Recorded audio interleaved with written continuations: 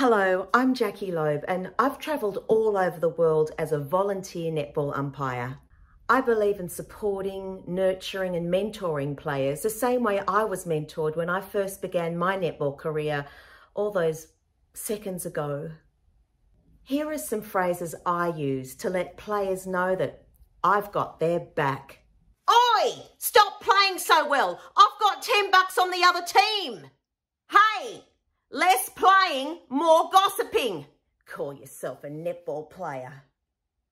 Excuse me, she's a family friend. I said she could dribble the ball.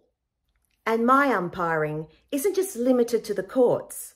When I see foul play out in the real world, I'm going to call it out. Why do I have to pay a dollar extra for dairy free? It's got no dairy in it. Why do I have to pay for something that's not there? Being a volunteer netball umpire was not a choice. I was born this way.